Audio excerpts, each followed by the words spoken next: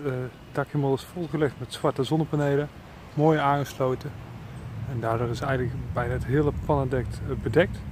Mooi op de zon gericht en ook met deze duistere dagen uh, genereert dit gewoon elektriciteit. Dus dat is gewoon een erg mooie oplossing en ik vind het ook heel mooi toegepast.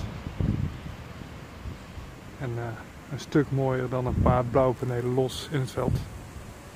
Gewoon los op het dak gelegd. Maar mooi dit. Over nagedacht hoe het moet komen en natuurlijk uh, behoorlijk veel. Dus uh, genereert echt alles wat dit huis nodig heeft.